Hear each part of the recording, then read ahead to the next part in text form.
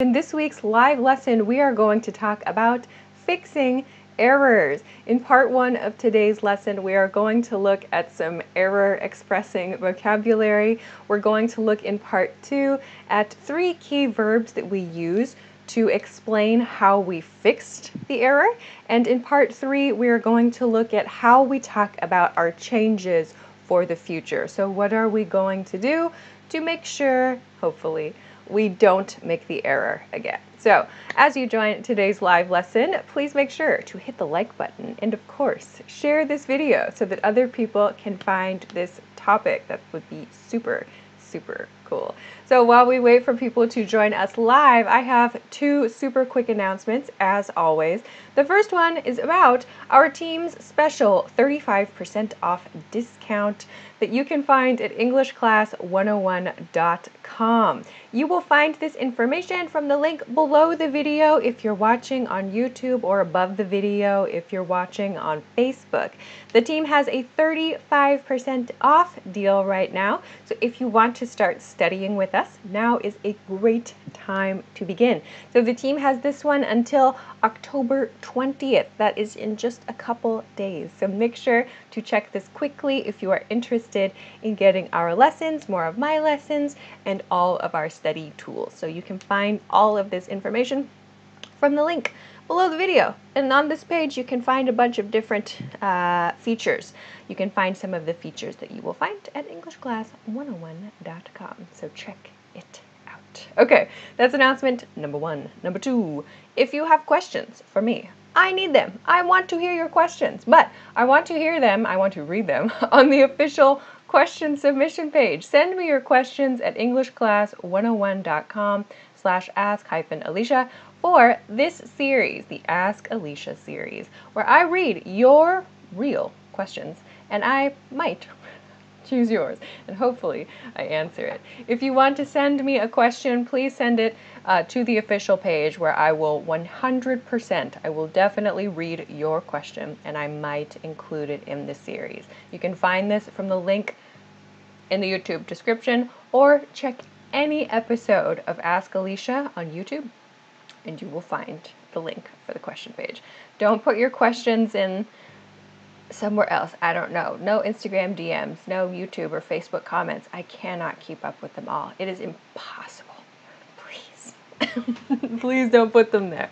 I won't see it. I probably won't see it. So please put them on the official question submission page, and that would be awesome. And maybe you'll be in the series. How cool is that? Okay, let's get back to today's topic. It looks like everything is going okay, yeah? So today, if you missed it, today we're going to talk about fixing errors, okay? So I'm to go and share the video on Facebook. I haven't seen Facebook yet. What's up? I see YouTube. Hi, YouTube. Natalie, what's up? Francisco, Elio, hi. Lean Win, hi. Virginia from Brazil, what's up? Mariester, hi. Mohammed, uh, Lee again. Okay, uh, Dragon. Hi, Liesel from Guatemala. What's up, everybody? Welcome. Okay, let me share the video and like the video. You can do this with me if you want. Just saying. Ah, there I am. Okay, like and share, and I will say hi to you on Facebook. Did I share it? Uh, good. Okay. Um, what's up, Jacob and Juan? Someone I can't read your name. Uh, I can't read your name. Glenda, what's up? Jesus, hey everybody. Chesh, what's up? Okay. Great, everybody's here. Let's begin today's lesson. All right, first I want to start today with something kind of fun. Like I want to look at just it's these are tiny, tiny little words, but they're actually really important. Uh, and knowing how to use these correctly is, I think, really important too. So part one, you can grab your notebook now to make your notes for today. So today, let's begin with mistake words. So these are the like the words we use when we make a mistake, okay? And I created uh, this from light to serious, so let's see what I mean. So I have a list here of words on a spectrum. So that means the words at the top of the list are for light mistakes, okay? Not so serious mistakes. And the words closer to the bottom are more serious. Today, I'm not going to talk about really, really, really big mistakes, like very serious, but it's a mistake that causes a problem for someone. That's what I mean. So serious mistake is like a mistake that caused a problem for someone or uh, it slowed people down, something like that. A light mistake is like I maybe I dropped my pen. Oh no, yeah. So this is something that's very, I think, important to consider, right? So I have a few vocabulary words. We have others for these different situations. So maybe the lightest one, these are usually all very light, is we have the word oops, oops. Or sometimes we say whoops. We use a w sound at the beginning there. Oops or whoops. So when we drop something or when we make a small mistake, we use oops sometimes. Oops, I dropped my pen. Oops, I forgot that thing, whatever. When you make a small mistake, we might use oops or whoops. Whoops. Yeah. Some people might say whoops, I guess, but I, I, the way I speak, I say whoops most of the time. So these are used in very light situations. The next one up is uh-oh. Uh-oh. So we use uh-oh when the, it's like something kind of light happened, but it might cause a problem, right? Uh-oh. So this one could be a little bit more serious maybe, but we also use this uh, in lighter situations too. Like, again, like if you drop something or you forget something, like, uh-oh, I forgot my wallet. so it's may maybe not a huge problem, but it, uh, it's a problem. Yeah, it's a mistake of some kind. Okay. The next one, oh no, oh no. So uh, let's say for oh no, maybe like you forgot to send an attachment on your email, maybe. Oh no, I forgot to send the attachment to my email. That's a pretty good one for oh no. It's like, oh no. Like that's a, you feel bad, you feel silly, you feel embarrassed maybe, right? So we can express that with oh no. Some people might use uh oh or oops as well. Again, this all depends on the person to a degree, oh no. All right. The next one is my bad. My bad. So this is one you use when you are talking to another person, okay? So you might notice here, this is the first one on this list that uses my, okay? So my bad is another way of saying I am responsible for the mistake. So this my means it was mine, right? And bad is a casual way to say mistake, right? My bad means that was my mistake, or I am responsible for that problem. I am responsible for the error. This is a very casual way to say that. Oops, my bad, we might say, right? Like, oh, I put the wrong settings in the camera, or I put the wrong settings on the computer. Oops, my bad. So this is the first one on this list where we, the speaker, takes responsibility. Yeah? Oops, my bad. Sorry about that. Yeah? So, my bad. Okay? The last two I put on separate lines, uh, but we have these two expressions. I messed up and I screwed up. Yeah? So for me personally, I screwed up feels a little more serious than I messed up. Like you can say I messed up like when you're I don't know playing an instrument maybe oh I messed up this part again. Or or maybe like oh I messed up the the dish I was making for dinner right? So I messed up. This means I made a mistake right?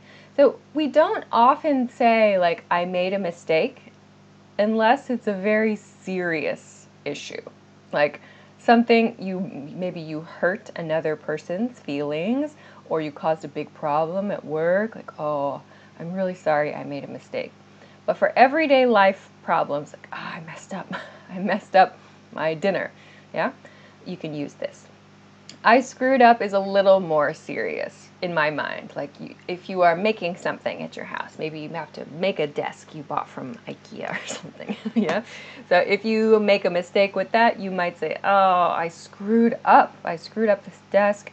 I screwed up this thing I'm making. So these are all expressions that we use to have to, this is how we express that moment we realize like I made a mistake. There's an error here. Yeah. Also, you might hear characters in movies, TV shows, and in real life too. Sometimes we make like a big mistake. Sometimes we hurt someone or we make we create a big problem. And sometimes people will say, oops, for that. Like they want to make it seem small, right? So if there's a big mistake and a really like small reaction, that's probably the reason. The person wants to make it seem like a small problem, right? Like if I say, oops, after a big problem, it's like I want to make it like, oh, it's not such a big deal. It's not such a big problem. So that's the reason that sometimes people will choose light words for big problems. So you might see that. Right, so uh, Patrick asks, is screwed up is not a bad word? It's not a bad word, no. Like, oh, I screwed up. It's a way to say I made a mistake, yeah? So we don't, it's not a bad word. It's not bad to say like this. Uh, some people might use it uh, in the expression that's screwed up or that's messed up, which means like that's weird or that's unpleasant, that's not good, that's not cool yeah? But when we use it like this, I messed up or I screwed up, it expresses a mistake, okay? All right, any examples? Okay, Miguel wrote, you messed up my phone. Yeah, nice one. you messed up my phone, okay? Um, Natalie wrote, oh no, my bedroom was in a mess. Just say my bedroom uh, is a mess or my bedroom was a mess. Is that a mistake though? Like, is your bedroom being a mess a mistake? It's just a situation, right? Like I might say, I might go, ah, oh, my bedroom is a mess, right? We use this for a mistake. I made a mistake. I made an error. Yeah. Black Eagle says, oh no, I broke my mom's favorite vase. Yeah, good one. Okay. Oh no. oh no. That's not good. Okay. Others. Uh, that is what oh no with a oh no. We don't use oh comma no for this kind of uh, for this kind of mistake expression, if that's the question, okay? We use it often after, like, oh no, comma, oh no, comma, I did a bad thing. so, okay, Facebook, what do you have, Facebook?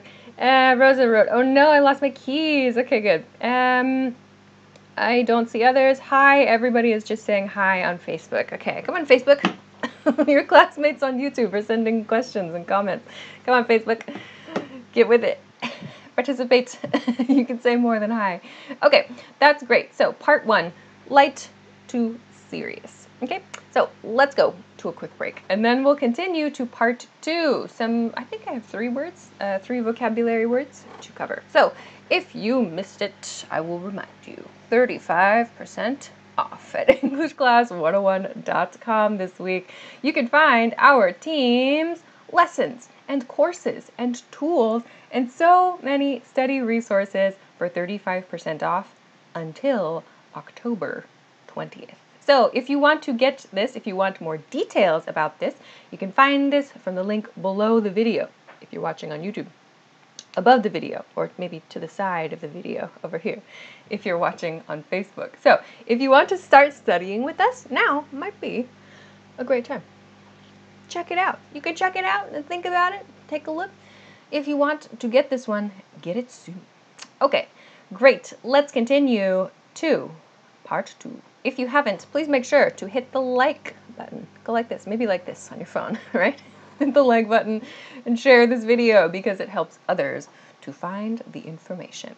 Okay, let's go to part two. Part two is about vocabulary. So what are the vocabulary words we use to explain how we fixed something? Okay, so first one, very basic, of course, to fix. We're going to start with the verb to fix. So today we are going to practice these verbs in past tense, yeah? I fixed the noun. I fixed the noun. This is the basic pattern for today, okay? So, I fixed, this ed is not fixed, but fixed, like a T, fixed. I fixed the noun, okay? So, the noun is the problem thing. What is the problem? Or where was the error? Where was the mistake, right? So, replace noun with your problem item, okay? For example, I fixed the computer. I fixed the computer. There was a virus, right? I fixed the computer. Or I fixed the problem. I fixed the problem. Or I fixed the sentence. I fixed the sentence.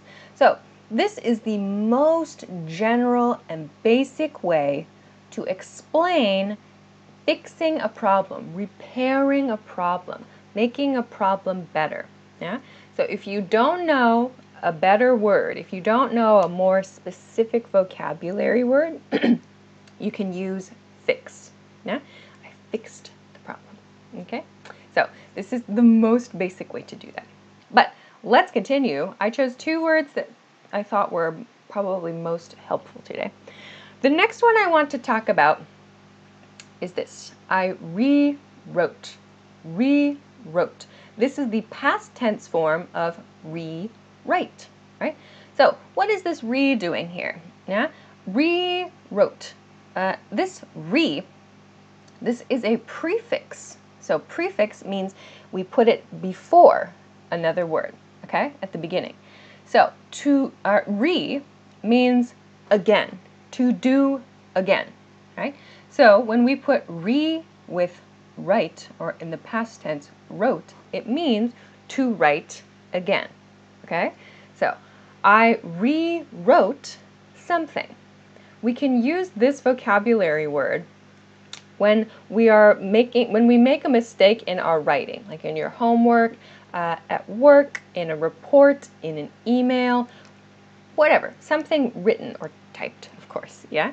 So I rewrote same pattern, the noun, or I rewrote something. So we can use this vocabulary word only for text. Yeah, this is the only case, the only time we use I rewrote something, okay? But we need to use it a lot, right? So here are two examples. I rewrote the code. I rewrote the code, okay? Or I rewrote the report. I rewrote the report. So we can use this for anything we need to write again, right? In this example, for example, I rewrote the report. It means there was a problem in the report. I gave the report to my boss or to my manager. My manager said, mm, there's an error here. Please fix this, this, and this, right? And then, okay, I rewrote it. So I took it back, I did it again. I wrote it again, and then I gave it back right? I rewrote the report. So you can say, hi, to your manager, I rewrote the report. What do you think, right? So this is how we can use these expressions. I rewrote the report. Please check it again, okay? All right. Um, Vladimir, very close. My tutor asked me to rewrote the essay. Very close. Rewrote, this is the past tense form. So we need, to, in that sentence, my tutor asked me to rewrite the essay. Please rewrite it. Like in a, when we make the requests, like please do this, please do that, we use that uh, dictionary form. Yeah, I re, please rewrite the essay. This is the past tense. We're, I'm using past tense for today's lesson uh, to explain our actions after we fix the thing. Yeah, so perfect once you fix that tense. Okay. Um, Mary Esther, I rewrote the synthesis. What is the synthesis? I don't know what that is. But okay, grammatically correct. grammatically correct. Uh, Piafina, I fixed my hair. Okay, good. I fixed my hair. Yeah, that's a very common one, right? When you go outside on a windy day and you need to fix your hair. We use fix in that situation too. Hey Sam, I rewrote your email. Ooh, interesting. So you rewrote someone else's email? Like someone sent you an email and you rewrote it and sent it to them? It's possible. It's possible. Okay. Um, Juan said, I rewrote the letter. Great. Okay. Let's see. Facebook? Anything? Facebook? Facebook, what's going on over here today? okay, there's a few. One, I fixed my father's car. Nice one. Oni says, I fixed the car. Okay, JM wrote, I fixed my bike. Okay, great. Uh, Rosa, I fixed my bedroom. Okay, maybe I cleaned up my bedroom? I'm not sure. Again, today's vocabulary is for fixing mistakes, right? So there's a problem somewhere, right? So what are we fixing? What error or mistake are we fixing, right? So please keep that in mind. Okay, let's continue. Part, oh no, last, sorry, last one, part two, vocabulary word three. So The next one is redo. Redo. So this is uh, redid. This is the past tense form, redid. So you'll notice I don't have a hyphen in this one. So rewrote and redid. You will find that people sometimes use a hyphen and sometimes do not use a hyphen uh, in these words that use like re, like rebuild or recreate or rewrite or redo. So you will sometimes see people use this hyphen and sometimes you will not. So the general rule is, according to the dictionary, according to style guides, if there's no chance that we are going to misunderstand, if there's no chance we are going to make a mistake with the meaning, no hyphen is okay. But if there's a chance it might be understood incorrectly, to use a hyphen. Today I decided to use a hyphen for the first one just because I wanted to show that re is the prefix and wrote uh, is the base word there. So this is the reason that you might see a hyphen and you might not see a hyphen. Not everybody follows exactly the same rules for hyphens with these. Okay, so this redid, redid, this is the past tense of redo. Okay, so let me put this in a box really quick. So today I talked about these uh, two words. I'm going to put them without a hyphen actually so you can see them in this little tip box here. So rewrite and redo. These are the uh, dictionary forms of these two verbs, yeah? In past tense, I redid, redid. So I explained uh, earlier that re means do again, right? So to redo means to do again, yeah? So here, I redid the noun is something we use for like things we make or the activities, actions we do that are not writing. In this word, rewrite, we are talking about emails, books, articles, right? But for other things, like for example, making a video or making a song, right? We might use something else. We might not say rewrite because we don't write a video. Maybe we can use rewrite, we can use write for a song. But if you have a different like creative activity, you can use redo, the verb redo, and in past tense, redid. So I redid the video or I redid the song. So this means I did it again. Yeah? So I redid the video means I made it once, I gave it to you, there was a mistake, so I did it again. Okay? So I redid the video. Okay. Um, oh, Mole oh wrote, I, I not reload. Maybe like I can't reload. We use reload for uh, web pages, internet pages, yeah? Um, let's see, I'm looking for your example sentences. Uh, Kanu wrote, I don't want to rewrote this. Okay, so again, this is a past tense verb, right? So it, your sentence is not past tense. I don't want to rewrite this. I don't want to rewrite this, okay? So watch out for your tenses. These are all past tense, yeah? These are past tense examples, okay?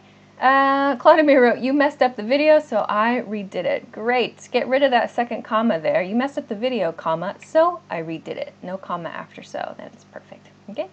All right. Um, others. Ah, Dariush, I redid our dinner that was burnt. Oh, nice one. Good one. Yeah. Uh, if you want to use that for dinner, like you could say, I guess you could say I remade our dinner. Yeah, like I remade. I redid our dinner. Yeah, that's an unusual situation, I guess. Making dinner again. Yeah. But yeah, interesting. Okay. I might say I remade our dinner. Yeah, but I would be really careful with that. like it sounds like the other person did such a bad made such a bad mistake that you are doing their work again. Like be careful with that, yeah? like to say that sounds like I'm doing it better than you, I guess. Uh, there's there's layers to that. Okay. Uh, did you just write that? I did not want to rewrote this. I explained rewrote. This is past tense. You are writing me uh, I, a sentence that needs this to be rewrite. I did not want to rewrite this. Yeah? So So maybe look at those uh, negative sentence grammar patterns to practice this part. Okay. All right, Facebook. What's up? Got some Facebook? Jim Kal Ahmed said, I redid the lesson. Perfect. I redid the lesson. Rosa has, I redid the music. JM wrote, I redid my bed, like you made the bed again, maybe? What is that what that means? Okay. Uh, Glenda, I want to rewrite this lesson tonight. Ah, also, if you are talking about uh, video, like like this video, for example, we can use re-watch, which means to watch something again. I want to re-watch that movie. I want to re-watch that YouTube video. I want to re-watch that TikTok, whatever. So you can use re and watch in the same way. Okay? All right. Done. Part two is done. Oh my gosh, that took a long time. So let's quickly take a break. Uh, actually, let's just go right into part three because I am very late, as always, talking so much about small points. Love to do it, right? let's go into part three now. Let's talk now to finish today about future changes. So after you make a mistake, after you express, okay, I fixed it, I rewrote it, I redid it, whatever, the next step in a good, like, fixing situation is to explain how is it going to be different in the future? What are you going to do different in the future? Yeah? So, here are two. We're going to look at five expressions, okay? First two, use I'll. I'll, right? I will because we are deciding in the moment, right? I decided in this moment after I fixed the problem. Yeah? So I'll make sure to do it that way or this way in the future. I'll make sure to do it that way in the future. We can use that or this. Yeah? I'll make sure to do it this way in the future. Both are okay here. So at native speed, this sounds like I'll make sure to do it that way in the future. So in the future means next time right?